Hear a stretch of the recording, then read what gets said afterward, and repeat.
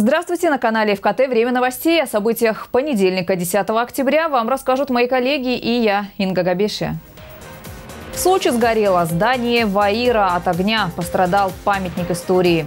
Их не пугают ни штрафы, ни конфискация товара. Торговцы в подземках. К ним отправились рейдовые группы. 12 аварийных домов в Сочи расселят до конца года. Переезд жильцов в новые квартиры взял под контроль глава города. Новым папам и мамам тоже нужна помощь. В Сочи открылся Всероссийский форум приемных семей.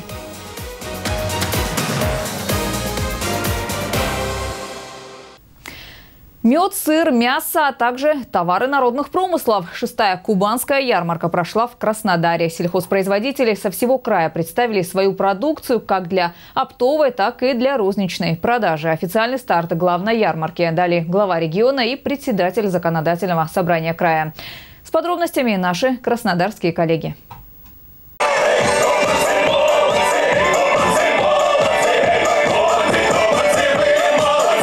Любая ярмарка на Кубани всегда праздник. Это в очередной раз поражает своими масштабами. В Экспограде собрались фермеры и сельхозпроизводители со всего края. Как на выставке «Птицы с подворья Нины Рыбалка». Рядом с горластыми петухами молчаливые цесарки. Их на Кубань привезли из Франции. Времени для акклиматизации бройлерным птицам не понадобилось. Всего за 4 месяца цесарки прилично набрали в весе. Это одно из самых важных преимуществ, говорит фермер. Ведь именно мясо этой птицы особо ценится и обладает диетическими свойствами. Качество мяса больше напоминает напоминают вкус мяса дикого фазана. Но мясо очень вкусное, поверьте. Вот у нас Россия уже работает этим яйцом и разводом этих цесарок э, третий год.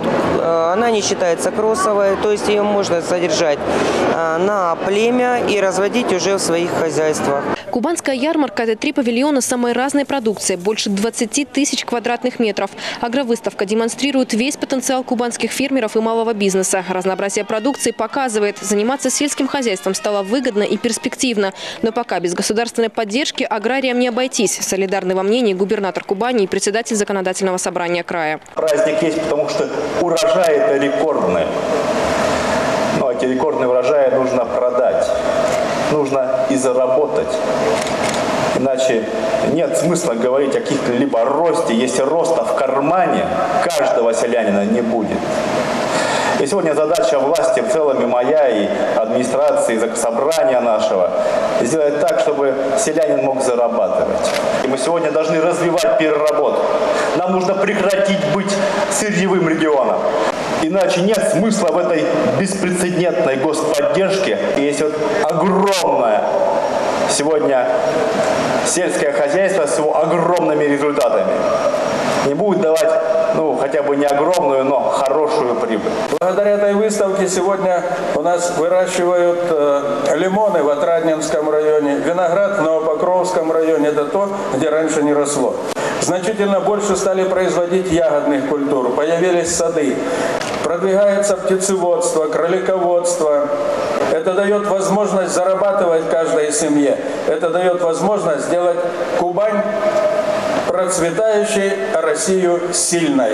Саженцы деревьев, цветы и кустарники – это лишь часть павильона. Рядом целый зоопарк. Фермеры из Абинского района привезли молодых козочек. На ярмарке не все. Дома осталось еще около 300, рассказывает Вениамину Кондратьеву. В день дают около 100 литров молока. Реализуют все, но спрос куда больше. Это востребованный продукт, очень востребованный продукт. Просто нужен толчок, чтобы сделать, например, переработку, должную переработку, что можно было поставлять непосредственно людям. А, порода ярко выраженная молочность у нее. То есть, если развить, мы уже будем знать, что вот, у меня есть козы, мне нужен такой-то объем. Мы можем наработать этот объем, сделать. Он обеспечит свой завтрашний день. Он выпускник аграрного университета. И он идет не куда-нибудь, не ищет что-нибудь, а он идет к себе и говорит, я верю в том, что я смогу. А если он сможет, давайте его поддержим. Тогда он сможет. Тогда и другие пойдут. А так мы будем говорить лозунгами. Так свою кролиководческую ферму уже начал расширять Денис Бабин из Успенского района и теперь делится успехами с губернатором. За помощью он обратился год назад во время визита главы региона в муниципалитет. Тогда, чтобы развивать производство, кролиководу нужны были деньги. Сегодня на льготных условиях он получил кредит и почти в два раза увеличил площадь своей фермы. На по большому счету, э, еще будет возможность. Готов еще расширяться? Если такие поддержки будут так. и в дальнейшем, то я думаю, что это переработка и бойня. Поддерживаем максимальное его развитие для создания вот такого показательного хозяйства, что может он, если он стучится в дверь и если он хочет работать. Этот комплекс э, должен э, в первую очередь показать экономику, а во-вторых рабочие места, ну и самое главное налоги для нас. Вот и все, мы здесь ничего не теряем. Мы деньги здесь на ветер не бросаем. Мы говорим о том, что мы готовы поддержать того, кто встает ран- раньше солнца и ложится позже луны. Свежие овощи, фрукты, молоко, рыба, колбасы. Пройти равнодушно мимо этих рядов вряд ли удастся. Все самое натуральное и сделано на Кубани. Здесь же прилавки с местными макаронами. Правда, пока этот продукт почему-то не особо пользуется спросом. Мы говорим о том, что не надо пшеницу на экспорт. Мы говорим о том, что сегодня мы можем сами ее переработать, упаковать. У вас разная фасовка, большая, маленькая. Как со сбытом? С сбытом дела обстоят на Краснодарстве, на Кубани. Не очень. Мы Не попадаем на Армению, в Сирию. А почему? краснодарцы Почему он видишь? Это проблема, о которой сегодня мы говорим. Мы говорим, давайте перерабатывать, давайте сами реализовывать, давайте сами стучаться до конкретного потребителя. Ну вот они это сделали. Со сбытом проблема заключается в следующем. Хорошо живем на Кубани, кушаем мясо, хорошо едим э, фрукты и овощи. Вот те страны, куда поставляют, я понимаю, что это Азия, Мы все макароны, остальные. давайте не будем сами себя обманывать. Мы макароны тоже едим. Едим, Но они да. почему-то в выпоротых упаковках. А в отечественной упаковке мы не едим. Нужно давайте привыкать к этим. Вот Кубанскую ярмарку уже проводят в шестой раз. И с каждым годом интерес к ней все больше. В цветочном павильоне приобрели розы. Мед. В основном растения успели приобрести, уже бывали. Ярмарки наши любим. Как организовали ярмарку? Прекрасно. Год тому назад переехала в Краснодар жить к дочери. Я в полном восторге. Я вчера была. У меня мурашки по телу, я прям плакала. Прийти за продуктами и за хорошим настроением время еще есть. Работает кубанская ярмарка все выходные до 9 октября. Мария Крошна, Елена Касабова, Алексей Комаров и Денис Перец. Кубань-24, Краснодар. В Сочи сейчас тоже можно наблюдать все богатство субтропического урожая – виноград, хурма, фейхоа. Все это есть не только на прилавках, но и под землей, что уже совсем не красит город. Рейд по несанкционированной торговле провели в микрорайоне Светлана. Продажа фруктов с земли бросается в глаза, тем более здесь, в подземном переходе, где уже около трех лет запрещена любая торговля. Но, как ни странно, покупатели груш, яблок и винограда находятся, а на спрос, как известно, рождается предложение. Они не платят э, налоги, не платят пенсионные взносы, они платят за аренду помещения, понимаете? Продавцу не платят зарплату, сами работают. Поэтому цена ниже, людям дешевле, конечно же. Но гарантию качества никто не может нести, потому что непонятно, откуда товар взят. Люди покупают, конечно. Спрос есть. Некоторые довольны, то, что вместе стоим, работаем. Но недовольные проверяющие структуры торговли овощами и фруктами в подземке не красит курортный город и противоречит эпидемиологическим нормам. Своим детям Лариса Воеводина эти фрукты не купила бы. Потому что антисанитария на полу стоит все. Поэтому нет, я думаю. В результате ежедневных рейдов на торговцев составляют административные протоколы. Теперь придется заплатить штраф в размере 5000 рублей. Товар подлежит конфискации, но через некоторое время все вновь на своих местах. Вот эта женщина, которая, по ее словам, под 80 торгует, постоянно вблизи остановки Светлана. У них, я бы сказал, уже образ жизни, наверное, такой, понимаете. Они, многие из них семьями здесь работают, то есть дети помогают им. Мы неоднократно уже выявляли этот факт. Правда, на момент работы нашей камеры и сотрудников хостинской администрации фрукты были спрятаны под черный пакет. Но надолго ли? В микрорайоне Светлана у нас э, по улице Черноморская, выход к пляжу, есть э, четыре торговых места, где разрешено торговать пенсионерам. Вот. Почему вы там не торгуете? Вы можете объяснить, почему именно здесь вы постоянно торгуете? Мне ноги болят, автобус тут, я слезла, вот тут села. Я туда не могу ходить. Победить несанкционированную торговлю сложно. Она возникает стихийно, и те, кто перепродает фрукты и овощи с ярмарок, меняться не хотят. Хотя для них уже организованы здесь же, на Светланинском рынке, который находится в 20 метрах от подземного перехода, торговые места. Эти столы предназначены для пенсионеров. Вот раз, два, три, четыре, пять столов для пенсионеров, которые продают в пешеходном переходе. Неоднократно было сказано, что приподнимайтесь наверху без оплаты, без аренды, пожалуйста, пусть торгуют. Стоят здесь. Ну, здесь, как обычно, просто постоят, потом как уйдут, потом спускаются опять же вниз. Это просто мы не можем ничего с ними делать. Вот, пожалуйста, столы здесь свободны для них. Задача у всех одна. Торговля в Сочи должна быть организованной и цивильной. Но не только от проверяющих структур зависит, появятся на тротуаре ведерки с фруктами. Многое зависит и от покупателей. Елена Овсецина, Николай Тихонов, телекомпания ФКТ. В Сочи сгорело здание ВАИРа. Городское общество изобретателей и рационализаторов находилось в строении, признанном памятником истории. В ночь субботы на воскресенье его охватил пожар. По некоторым данным, на втором этаже замкнула проводка. Выгорело турецкое кафе. Со слов администратора, пишут очевидцы, загорелось в два ночи. Пожарные приехали в 2.35. Выгорел полностью первый этаж и частично второй с локальными обрушениями крыши. На втором этаже располагались офисы. А ведь это здание одно из старейших в Сочи. Там еще в царское время располагался общественный клуб. Позже здесь находился городской отдел НКВД. Потом здание отдали Всероссийскому обществу изобретателей и рационализаторов, присвоив статус памятника истории. В последние годы помимо общества в доме располагались также кафе и различные офисы. В Сочи сотрудники дорожно-патрульной службы подвели итоги операции «Бахус». В результате рейдов за управление транспортом в состоянии алкогольного опьянения выявлено 50 водителей. 48 из 50 отказались от прохождения медицинского освидетельствования, что, согласно нынешнему законодательству, может рассматриваться как правонарушение.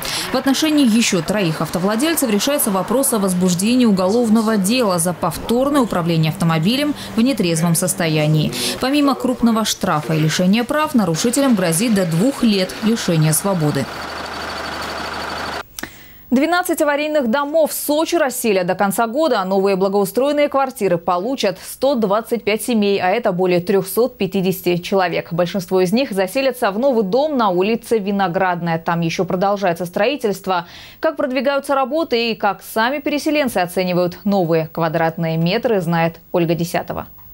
Дом для переселенцев по улице Виноградная готов на 90%. Рабочие продолжают внутреннюю отделку помещений на прилегающей территории. Тяжелая техника роет котлован под парковку и магазин.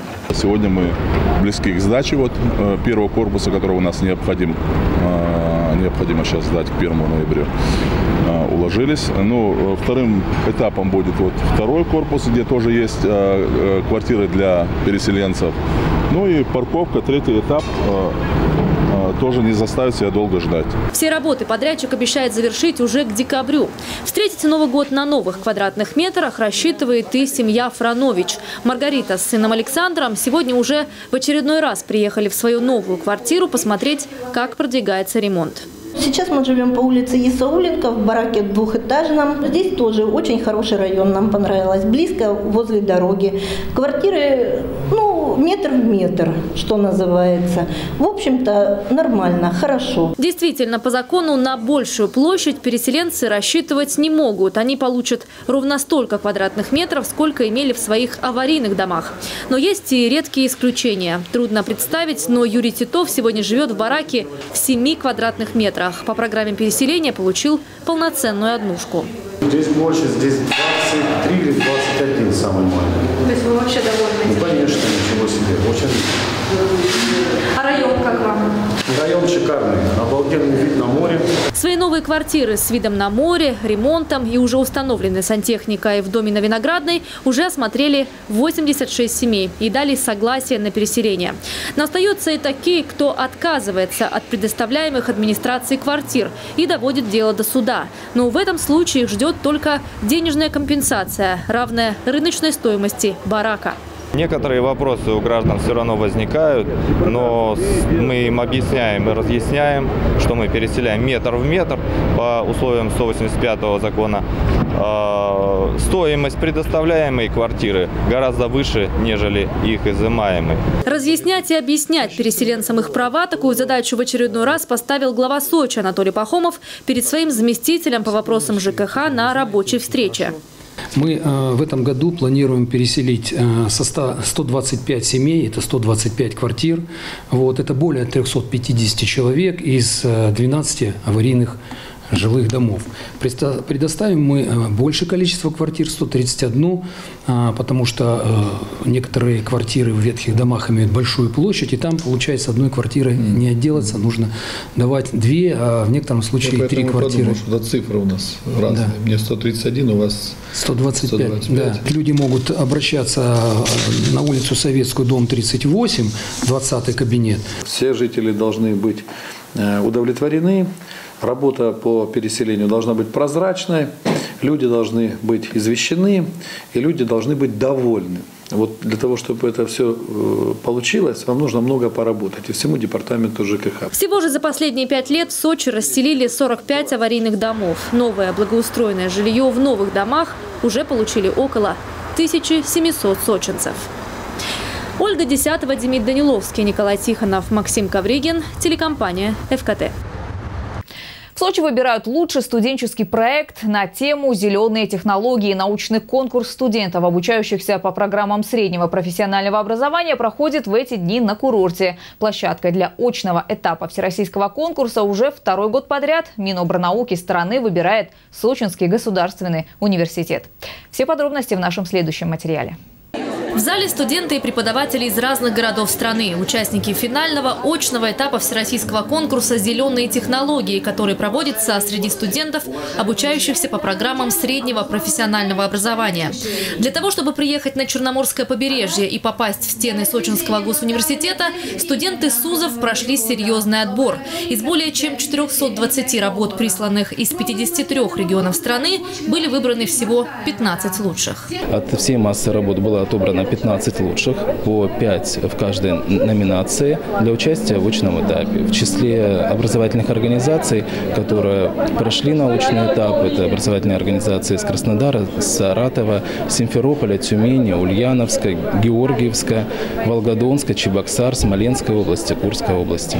Юлия Вишнякова в Сочи приехала из Саратова, представляет педагогический колледж имени Гагарина. Для конкурса студентка разработала проект защитной маски и респиратора с 3D-насадкой от отравления парами ртути. Данные средства не очень прошли вперед, и мы стараемся разрабатывать также, чтобы защитить жизнь человека, и то, что наша разработка, она более удобна в применении, чем те, которые используются именно сейчас. Конкурс научных работ на тему «Зеленые технологии» проводится в трех номинациях – экологическая безопасность производства, возобновляемые источники энергии и ликвидация последствий загрязнения окружающей среды. Я представляю энергоэффективное строительство, энергоэффективный отель вот, на морском побережье. Инновация в том, чтобы использовать, э, использовать неисчерпаемые источники энергии. Одним словом, круг тем, которые представили студенты, весьма широк. От инновационного менеджмента и разработок туристического маршрута до проекта солнечной мини-электростанции. И самое главное, это не просто идеи, их вполне реально воплотить в жизнь.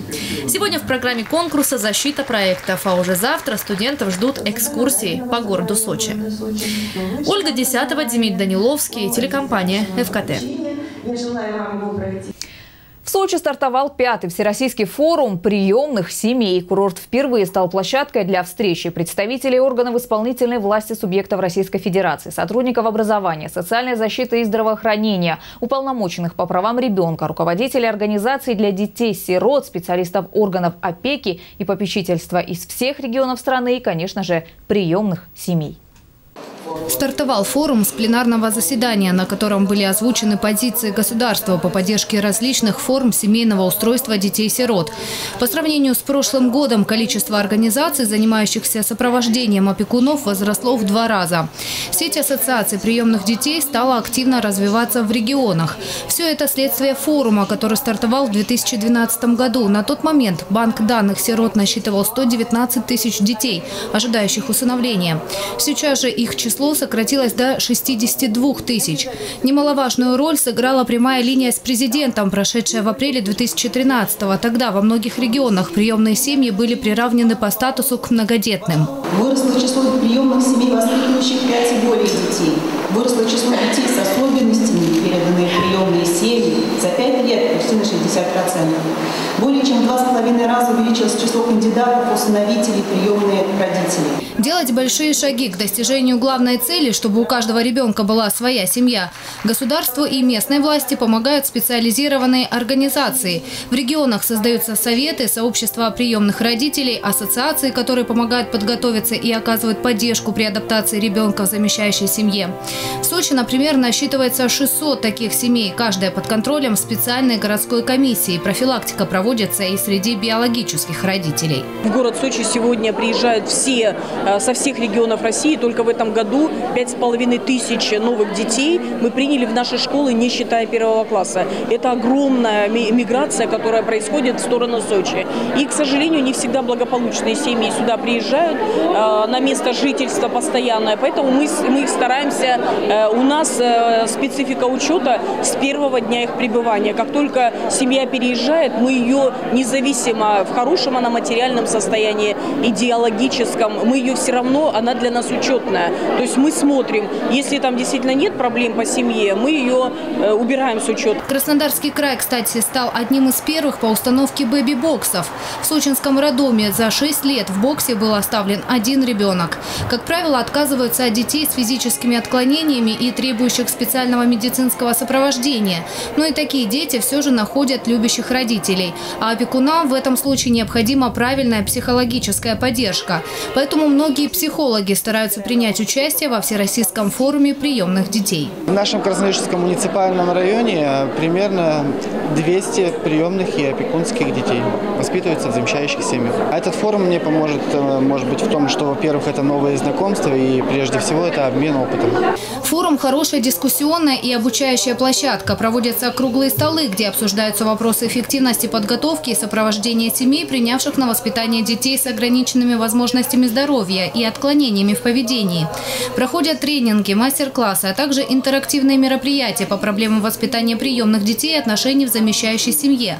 Но главный итог форума – это возможность формирования новых законодательных проектов, направленных на улучшение материальной поддержки приемных семей. Татьяна Говоркова, Михаил Дубинин, телекомпания «ФКТ».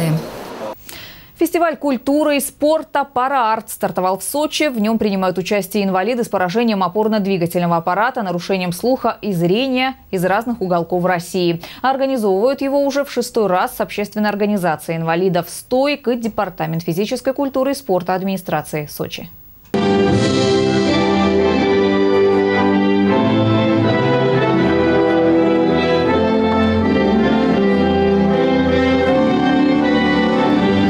Местом проведения фестиваля культуры и спорта «Парар» традиционно стал Адлерский курортный городок. На этот раз значительно выросло количество участников. Добрались до Сочи из Южно-Сахалинска, Читы, Якутии Замурской области. Впервые принимают участие команды из Санкт-Петербурга и Ростова. Второй раз участвует Донецкая Народная Республика. У нас здесь есть э, мастера спорта Украины, бывшие члены сборной команды Украины как и по баскетболу на колясках, и по фехтованию. Э, ну, неоднократные призеры. В общем, у нас довольно таки сильная команда. В целом же на фестивале представлено 19 регионов, более 200 участников. Все они стремятся проявить себя в спортивных и творческих номинациях. А еще важнее для них простое человеческое общение. Очень приятно нам было встретиться с, с нашими друзьями. Мы, мы, мы приехали в количестве около 20 человек. Вот, инвалиды первой группы, второй, третий. Тщательно так готовились с радостью. Буквально перед отъездом шили снаряды.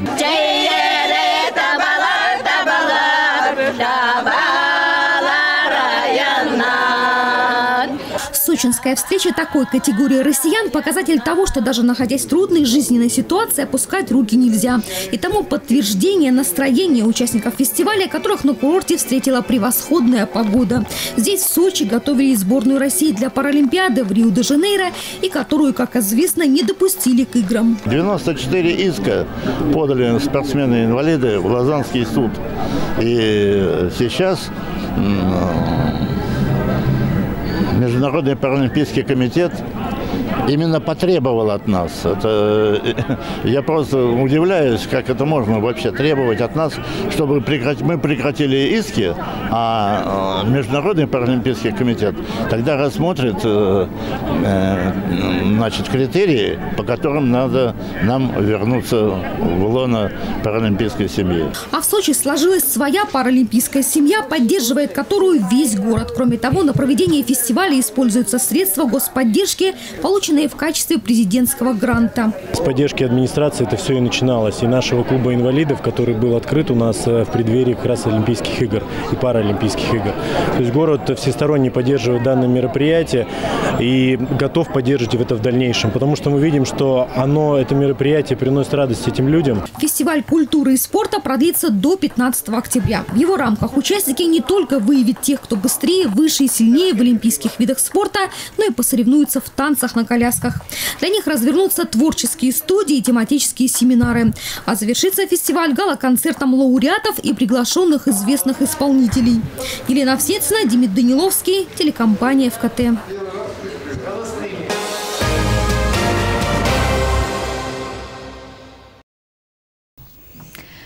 Сочи проходит чемпионат России в олимпийских классах яхт. 195 сильнейших спортсменов из 19 регионов страны борются за звание чемпионов России противоположность субботней солнечной погоде со слабым ветром в воскресенье на акваторию пришли ветер и дождь. Первые гонки регаты состоялись. Спортсмены классов RSX 49, 49 FX и NACRA 17 прошли по три гонки. Гонщики 470, лазер, лазер радиал и фин по две. Борьба велась при нестабильном ветре силой от 4 до 20 узлов, хорошей морской волне, сильном дожде и выносном течении. Не обошлось без многократных корректировок дистанции и старта стартовых створов.